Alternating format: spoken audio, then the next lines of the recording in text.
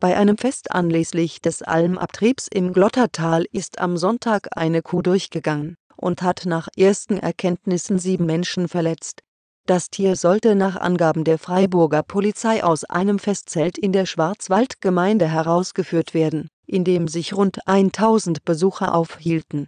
Offenbar irritiert vom Lärm und der Unruhe während des Festes ging das Tier durch, lief in das Zelt zurück und verletzte dort mehrere Menschen. Zur Schwere der Verletzungen konnte die Polizei zunächst keine Angaben machen.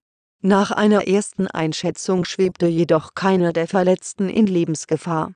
Kuh wurde wieder eingefangen und in einem Transportanhänger untergebracht.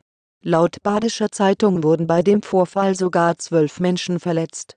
Wie die Zeitung berichtet, ermittelt die Polizei wegen fahrlässiger Körperverletzung. Dabei müsse die Frage der Haftbarkeit geklärt werden, betonte ein Sprecher der Polizei